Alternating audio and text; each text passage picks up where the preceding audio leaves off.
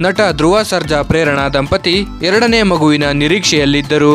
ಇದೀಗ ಧ್ರುವ ಸರ್ಜಾರವರು ಗೌರಿ ಗಣೇಶ ಹಬ್ಬದ ದಿನದಂದು ಅಭಿಮಾನಿಗಳೊಂದಿಗೆ ಖುಷಿಯ ವಿಚಾರವನ್ನು ಹಂಚಿಕೊಂಡಿದ್ದಾರೆ. ಹೌದು, ಇಂದು ಬೆಳಿಗ್ಗೆ ಪ್ರೇರಣಾರವರು ಎರಡನೇ ಮಗುವಿಗೆ ಜನ್ಮ ನೀಡಿದ್ದಾರೆ ಹಾಗೂ ಪ್ರೇರಣಾ ಅವರಿಗೆ ನಾರ್ಮಲ್ ಡೆಲಿವರಿ ಆಗಿದೆ ಎಂದು ಧ್ರುವ ಸರ್ಜಾರವರು ತಮ್ಮ ಇನ್ಸ್ಟಾಗ್ರಾಮ್ ಸ್ಟೋರಿಯಲ್ಲಿ ಬರೆದುಕೊಂಡಿದ್ದಾರೆ.